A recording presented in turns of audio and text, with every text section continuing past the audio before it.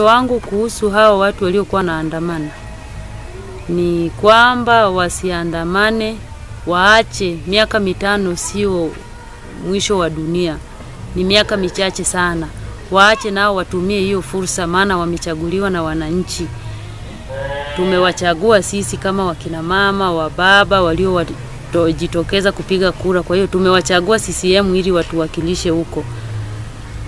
Kwa hiyo mimi wito wangu ya kwamba watu wasiandamane, tuishi kwa amani na jinsi kama Magufuli ametusaidia kweli kipindi cha korona, hiyo imefanya wamama wengi tukampa kura.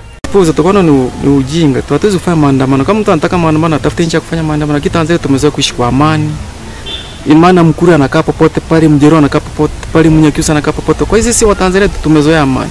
Kwa mtu anayetaka chochoko, labda achukue familia yake aitangulize ndio afanye maandamano. Lakini sisi wananchi hatutaki atu, atu, mambo kama hayo. Mimi nachosema ni kwamba tunatarajia mambo makubwa sana. Kwa mfano pale Nyamagore, sisi kata ya Binagi tuna diwani mara mara Chamaligiri, diwani ambaye anafanya maendeleo sana. Maguf, mbunge na sasa hivi nadhani nadhani hata mbunge hapa anavyonisikiliza na hapa nitazama, nadhani barabara kuanzia imefikia pale Masani itaenda mpaka kule juu vijijini, maana mazao yatakuja mjini kwa bei nafuu sana, na uadui ndani ya jamii. Hivyo basi, baada ya uchaguzi kumalizika na viongozi wa ngazi mbalimbali kuanzia madiwani, kuanzia wabunge pamoja na nafasi za uraisi, sisi kama e, shirika la kijamii Tanzania tunashauri jamii iingie katika shughuli za maendeleo ya taifa ili kumsaidia rais wetu Dr. John Pombe Magufuli e, kuendeleza miaka mingine mitano ya maendeleo kama tulivyoona huko nyuma.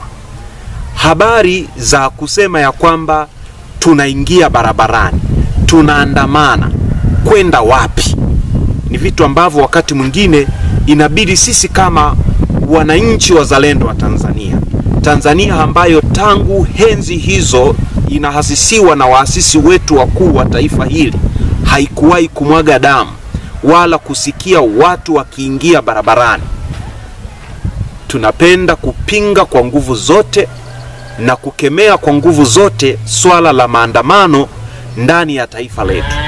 Sisi kama jeshi la polisi tumejipanga vyema kuhakikisha hali hii ya utulivu na amani inaendelea kwa kufanya doria za hapa na pale ili kuwahakikishia wananchi kwamba jeshi lao lipo kwa ajili yao, kuhakikisha wanaendelea kuwa salama na kuhakikisha mkoa huo kwa polisi wanazidi kuwa na amani na utulivu.